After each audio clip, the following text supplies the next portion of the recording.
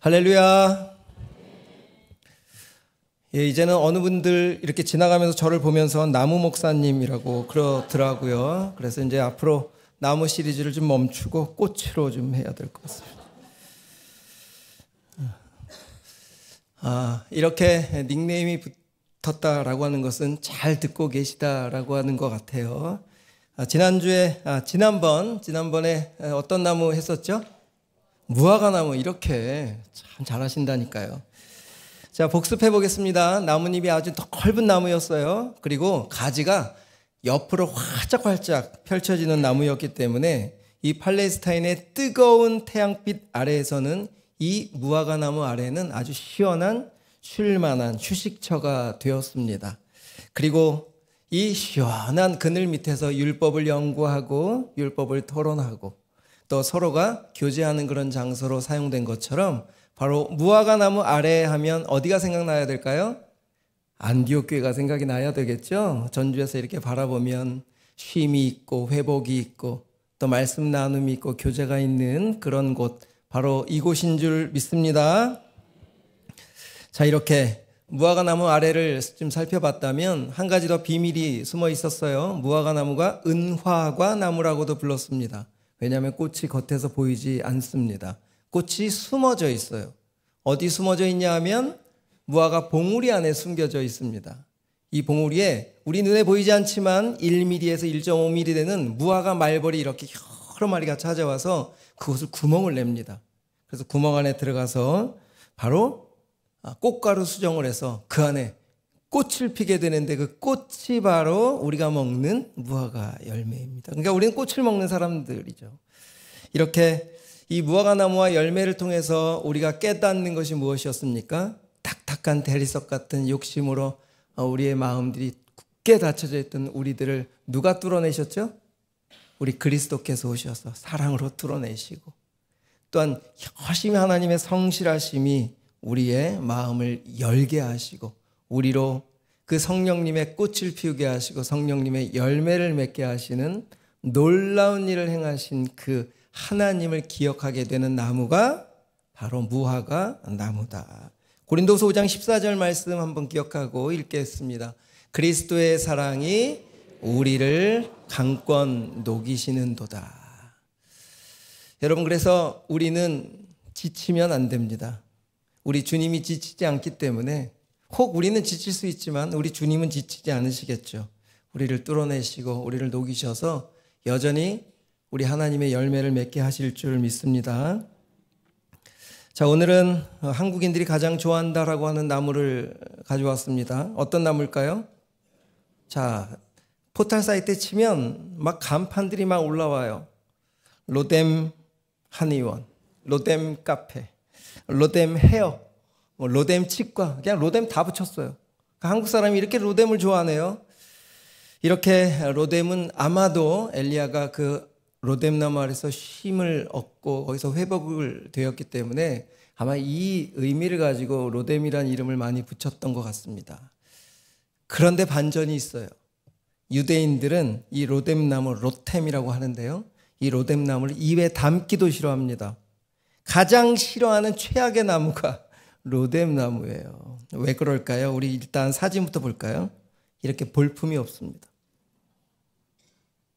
나무 같지도 않죠. 그래서 식물과에 속해 있습니다. 쌀이과에 속한 식물로 되어 있고요. 그래서 영어로는 화이트 브룸 트리라고 되어 있습니다. 흰색의 빗자루 나무. 이 흰색을 붙였는 것은 붙인 것은 5월 달에 그래도 이 꽃이 펴요. 하얀색 꽃이 핍니다. 아름답게. 그래서 하얀색 빗자루 나무라고도 영어 성경은 번역을 하고 있고요. 또 아, 우리나라의 대싸리 나무하고도 같아서 대싸리 나무라고도 합니다. 이렇게 로뎀 나무 하면 볼품 없고. 아, 보신 듯이 이 로뎀 나무는 아까 처음 사진처럼 그늘이 보여요? 안 보여요? 그늘이 보인다고요? 여러분, 그늘과 그림자의 차이가 뭔지 아십니까? 그늘은 돗자리를 펴고 한 시간 정도 누워 있을 정도 돼야 그늘이에요. 근데 이 아, 로뎀 나무는 그늘이 아니라 햇빛에 따라 30분마다 돗자리를 들고 옮겨야 되기 때문에 이건 그늘이 아니라 그림자입니다. 그러니까 로뎀나무는 쉼을 줄 수도 없고 또 트렁크처럼 목재가 없기 때문에 어떤 집을 짓는 목재로도 사용될 수 없는 쓸모없음의 대명사이기도 하고요. 로뎀나무 히브리어로 로템이라고 하는데 이런 뜻이 있습니다. 시궁창, 진흙탕. 이제 로뎀 이름을 좀 사용하기가 좀 껄끄러워졌죠. 하지만 반전이 있으니까 이 로뎀이 어떻게 또 하나님이 사용하시는지를 우리 한번 확인해 보도록 하겠습니다. 자, 성경에는 이 로뎀나무를 세 명과 연결을 하고 있어요. 이 세 명의 인물들을 우리가 좀 연결해 보면서 이 로뎀나무의 그 의미를 좀 되새겨 보려고 합니다. 자, 첫 번째 인물입니다. 우리 사진을 보시면 하갈과 이스마엘이에요. 이렇게 쫓겨난 이유 다 아시죠?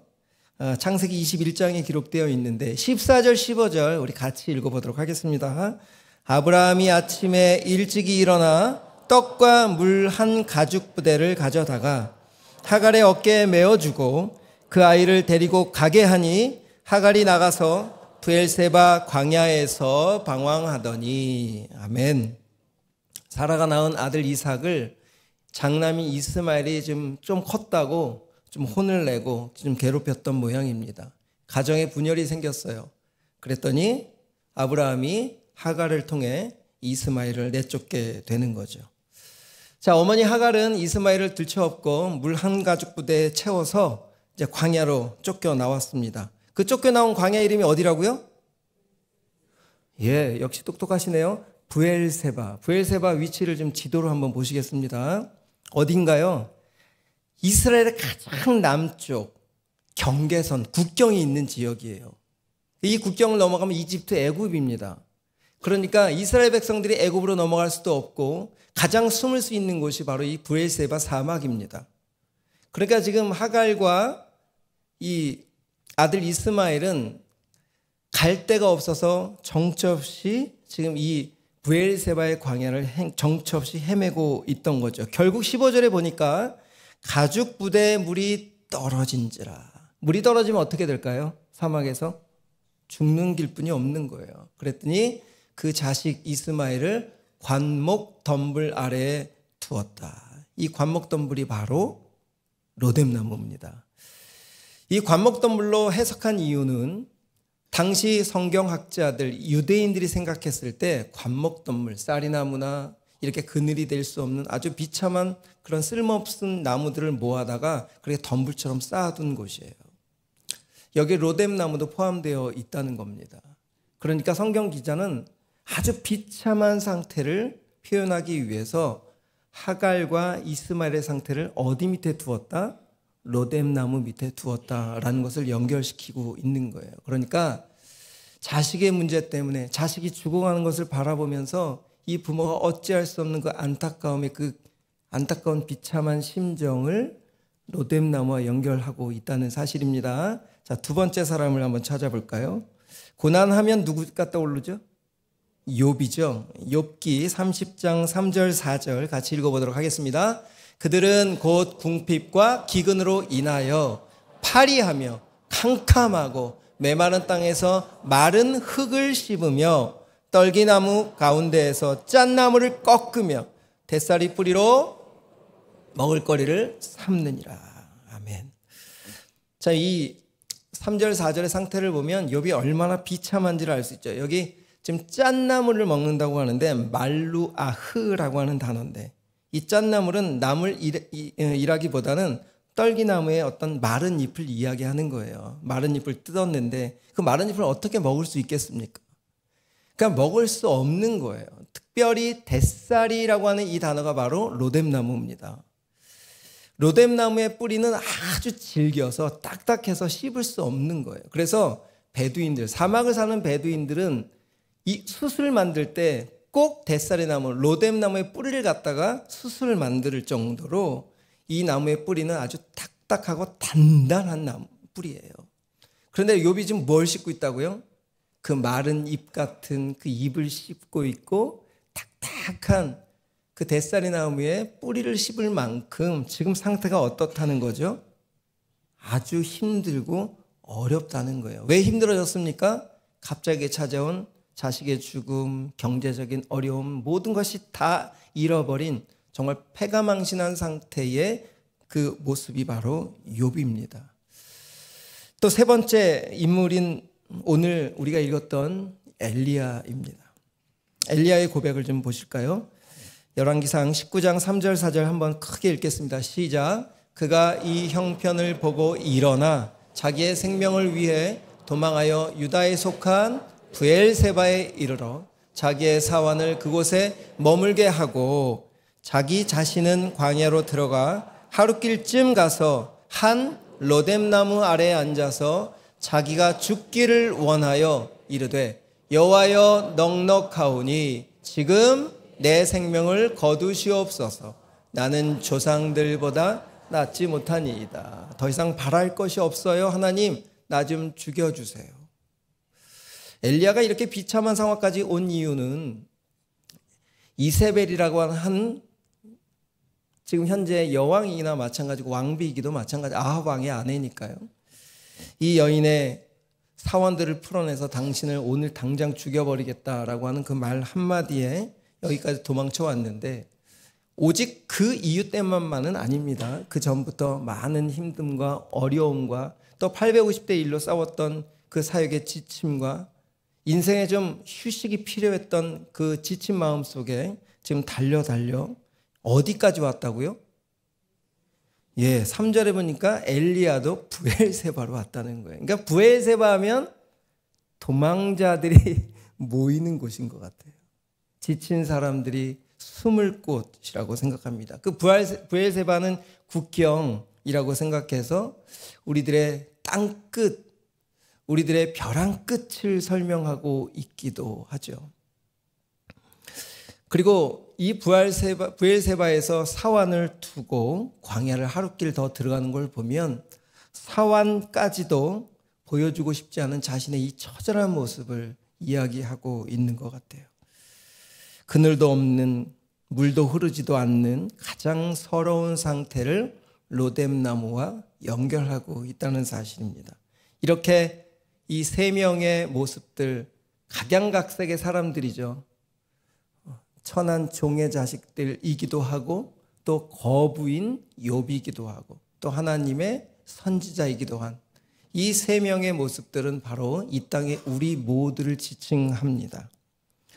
여러분 이렇게 하나님을 믿는 성도들이지만 이 땅을 살아가다 보면 하갈처럼 자녀의 문제로 어떤 진짜 내가 힘쓸 수 없는 내가 어찌할 수 없는 그런 문제 앞에 서게 되기도 될 수도 있잖아요. 그리고 욥의 문제처럼 경제적인 어려움이 갑자기 부딪힐 수도 있고 또 가족이 먼저 죽는 슬픔을 당할 수도 있고 또 욥의 몸에 당한 것처럼 갑자기 얻은 병들도 있겠죠. 엘리야처럼 사람들의 말들로 인하여 상처받고 또한 인생을 최대 달려온 어떤 가장의 모습처럼 지쳐 있는 이런 모습이기도 하겠죠. 여러분 이세 명의 모습들은 이 우리 모두 단 한 사람도 이 테두리에서 벗어날 수 없죠. 누구에게나 닥쳐오는 문제이기도 합니다. 이런 벼랑 끝 같은 시간들 이미 경험하고 있고 또 앞으로 인생을 살다 보면 이런 경험 앞에 설 수도 있겠죠. 이렇게 로뎀나무 하면 비참함의 상징이라고 하고 꼭 기억해 주시면 좋겠습니다. 그런데 이런 비참한 로뎀나무 아래서 어떤 일들의 결말들이 일어나는지 보면 아, 하나님은 그냥 우리를 내버려 두시지 않는구나라는 반전의 하나님을 경험하시기를 바랍니다. 첫 번째 하갈은 어떻게 이 이스마엘은 어떻게 하나님이 바뀌시는지 한번 읽어보겠습니다. 말씀을 읽는 동안에 이 지금 자식의 문제, 또 가족의 문제로 처해 있는 사람은 이것이 믿음이 됐으면 좋겠습니다. 창세기 21장 17절에서 19절. 하나님이 그 어린아이의 소리를 들으셨으므로 하나님의 사자가 하늘에서부터 하가를 불러 이르시되 하가라 무슨 일이냐 두려워하지 말라 하나님이 저기 있는 아이의 소리를 들으셨나니 일어나 아이를 일으켜 내 손으로 붙들라 그가 큰 민족을 이루게 하리라 하시니라. 하나님이 하갈의 눈을 밝히셨으므로 샘물을 보고 가서 가죽 부대에 물을 채워다가 그 아이에게 마시게 하였더라. 아멘. 이런 축복 있기를 축복합니다. 하나님은 하갈과 그 목 놓아 울고 있는 하갈의 이 울음소리와 아이의 죽어가는 울음소리를 듣고 계셨어요. 여러분 우리가 정말 어떨 때는 하나님께 부르짖지, 부르짖지 못할 만큼 정말 극에 처해 있을 때도 있겠죠. 운전대를 잡고 어떨 때는 혼자 골방에서 누구 하나 나를 붙잡아 주지 않는 그런 어려움 속에서 이렇게 하갈처럼 목 놓아 울 수밖에 없는 그런 상황에도 우리 하나님은 다 보고 계신다. 다 알고 계신다. 그 작은 신음도 다 듣고 계신다라고 하는 거죠. 여러분 이렇게 하갈의 눈을 밝히셔서 샘을 보게 해 주셨던 것처럼 그렇게 목 놓아 또 하나님께 간절히 골방에서 울고 계신 한 분한 한 분의 눈을 밝혀 주시기를 축복합니다. 그래서 회생할 수 있는 회복의 샘물을 터쳐 주실 줄 믿습니다. 더욱이 이스마엘처럼 버려진 아이 같아 보이지만 이스마엘을 통해 큰 민족을 이루시겠다는 하나님의 나라를 확장하시겠다는 약속의 말씀도 붙잡고 우리 혹 내 마음에 들지 않는 자녀들이 있을 수 있고 내 마음에 들지 않는 어떤 상황 속에 있을지라도 이 말씀 꼭 붙잡고 기도할 때 하나님께서 우리의 영안을 열으셔서 나도 살고 아들도 살고 딸도 살고 가정이 회복되는 놀라운 축복이 있을 줄 믿습니다. 자, 두 번째 욥은 짠나물과 대살의 나물을 막 씻고 있는 이 욥에게 어떻게 축복하셨죠? 욥기 42장 10절 12절 말씀입니다. 욥이 그의 친구들을 위하여 기도할 때 여호와께서 욥의 공경을 돌이키시고 여호와께서 욥에, 욥에게 이전 모든 소유보다 갑절이나 주신지라 여호와께서 욥의 말년에 욥에게 처음보다 더 복을 주시니 그가 양 사천과 낙타 육천과 소천 결이와 암낙이 천을 두었고 아멘. 지금 욥의 상태는 완전 바닥이었지만 이 바닥의 과정을 통해서 하나님은 욥이 거부가 되고 환경이 좋았던 것이 자기의 열심과 믿음처럼 여겨졌던 그 욥의 마음을 겸손케 하시고 어떤 상황에도 하나님이 하시는 일은 옳으십니다라고 고백하도록 욥을 만져 주셨던 것 같아요. 하나님의 복은 먼저 하나님과의 관계가 회복되는 겁니다. 우리가 예배 자리에 나와서 우리가 혹 잘못된 삶을 살던 것을 이 고통이라는 시간들을 통해서 잃어버림을 통해서 좌절하고 무너져 있는 것이 아니라 하나님이 이 시간을 통해서 나와 회복시키시고 나와 관계하고 싶어 하시고 나랑 회복하고 싶어 하시는 그 마음을 여러분들이 믿음으로 받아들인다면 하나님 오늘 요백에 축복하셨던 것처럼 처음보다 더 복을 주시는 이 땅에서 하나님의 그 풍성함을 더 크게 경험하는 그렇게 인도해 주실 줄 믿습니다. 경제적으로 몸의 고통과 아픔, 먼저 가족을 보내는 그런 슬픔 속에 혹 있었던 분들이라면 이 욥의 마음을 좀 깊이 알고 이런 과정 속에 승리로 하나님과 관계할 때에 그 과정을 통해서 이 욥의 과정을 통해서 정말 수많은 지친 자들이 회복되는 놀라운 역사가 시작될 것입니다. 우리에게는 아픔이었지만 나에게는 아픈 과정이지만 그 과정을 믿음으로 승화될 때에 우리를 통해서 우리의 주위에 있는 더 지쳐가고 쓰러져가는 사람들이 반드시 회복되게 하실 줄 믿습니다. 세 번째 엘리야는 어떻게 회복시키시죠? 5절 7절 열왕기상 19장 5절 7절입니다. 시작. 루뎀나무 아래에 누워 자더니 천사가 그를 어루만지며 그에게 이르되 일어나서 먹으라 하는지라 본즉 머리맡에 숯불에 구운 떡과 한 병 물이 있더라. 이에 먹고 마시며 다시 누웠더니 여호와의 천사가 또 다시 와서 어루만지며 이르되 일어나 먹으라 내가 갈 길을 다 가지 못할까 하노라 하는지라 아멘. 여러분 이 엘리야의 모습은 하나님이 좀 책망하셔도 되는 모습이에요. 예를 들어서 우리 아들이 와서 아빠 나 죽을 거예요. 얼마나 마음이 아플겠습니까? 아빠로서. 지금 이 엘리야는 하나님께 그런 상태 하는 거예요. 하나님 나 죽겠습니다. 더 이상 바랄 것이 없으니까 그냥 죽을 거예요. 하나님 얼마나 마음이 아프실까? 그런데 하나님은 이 엘리야에게 다단 한마디도 꾸짖지 않으십니다. 그 지침을 다 알고 계세요. 수고했다. 그리고 오늘 본문을 여러분들이 유심히 읽으셨지만 엘리야가 한 번에 일어났습니까? 몇 번에 일어났습니까? 계속 일어날 때까지 붙잡아 주시는 하나님을 보여주고 계시는 거예요. 여러분, 우리는 지칠 수 있지만 우리 하나님은 지치지 않으십니다. 그래서 오늘 우리가 여기 있는 줄 믿습니다. 우리는 어떨 때는 지금 주저앉을 수도 있고요. 어떨 때는 이, 엘리야처럼 좌절하고 그냥 정말 죽고 싶을 때도 있죠.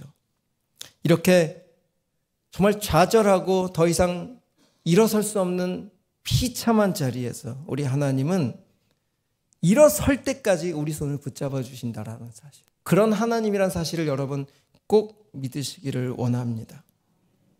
이렇게 인간의 모든 고통을 담고 있는 로템, 로뎀 나무는 우리 예수님을 비유하기도 합니다. 하늘의 영광된 본체를 갖고 계시지만 우리 가장 비천한 이 사람들의 모습으로 오셨어요. 가장 초라하고 가장 볼품 없는 모습으로 가장 바닥 낮은 자리로 오셔서 모든 이들을 품어내시겠다라고 하는 우리 하나님의 마음이셨습니다. 그리고 그 가냘픈 등에 우리 인류의 모든 죄와 고통을 짊어지시고 십자가에 죽어주셨죠. 그 십자가의 죽음이야말로 우리가 다시 회복할 수 있는 통로입니다.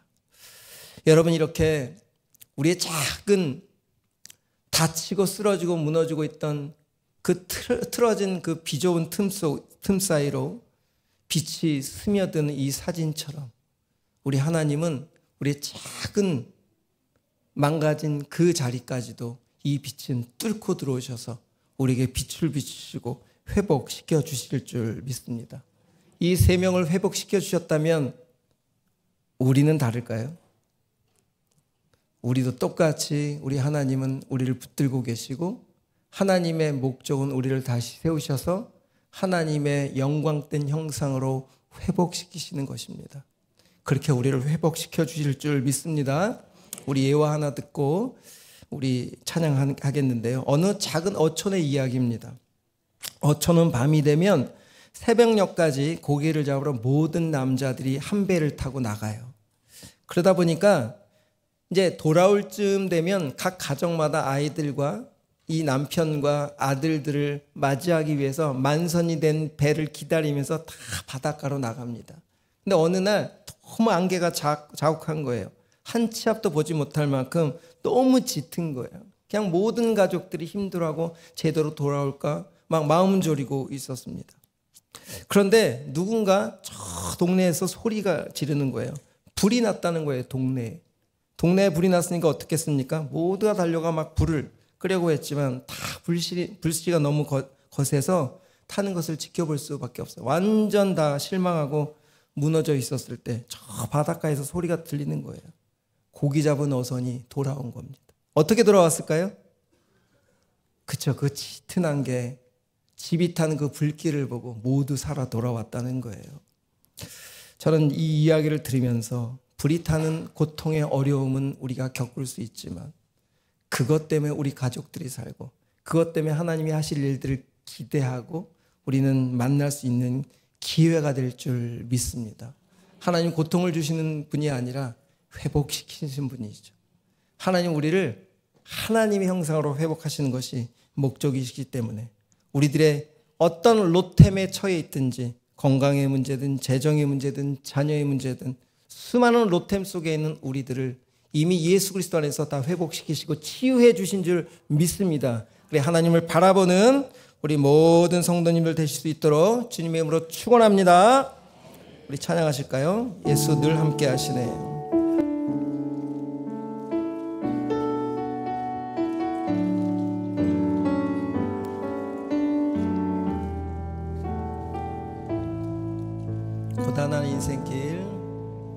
고단한 인생길 힘겨운 오늘도 예수 내 마음 아시네.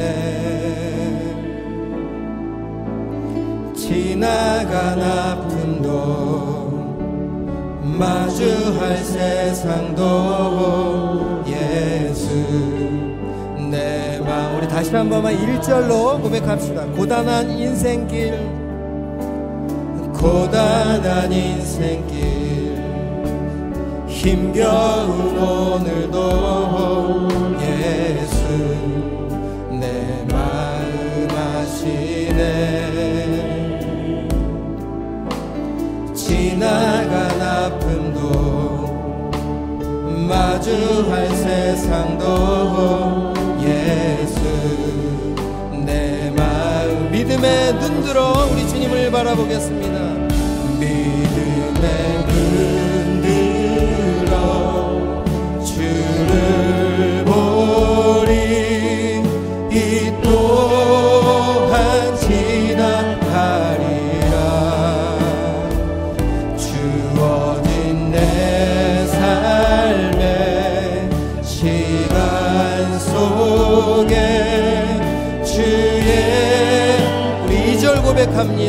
하루를 살아도 기쁨으로 가리. 하루를 살아도 기쁨으로 가리. 예수 늘 함께 하시네. 후회도 염려도 후회도 염려도 온전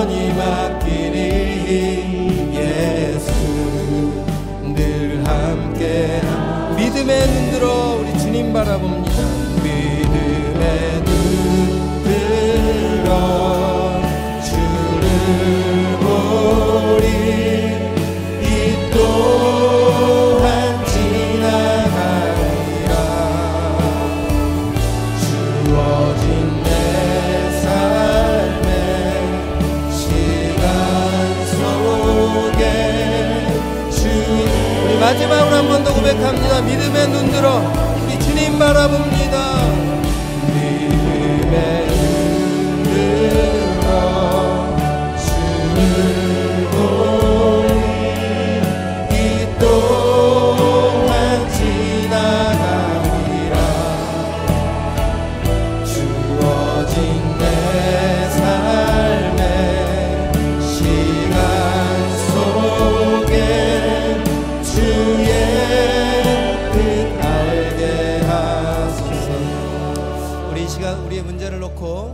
주님께 기도하겠습니다. 다 모든 문제들 없는 사람 없죠. 하지만 우리가 그 문제를 붙잡고 있는다고 해결되는 건 없습니다. 우리를 다 알고 계시는 우리 하나님께서 그 문제로 인하여 나와 관계하자 나와 함께하자 나를 바라보면 내가 나머지를 다 책임져 주시겠다라고 하는 오늘의 약속의 말씀을 붙잡고 이 약속의 말씀을 붙잡고 하나님 나에게 있는 이 모든 문제 정말 오늘 주님께 다 넘겨드립니다. 주님 붙잡아 주시고 회복시켜 주옵소서 우리 문제 붙잡고 우리 하나님께 넘겨드리는 우리 주님 이름으로 기도하며 나가겠습니다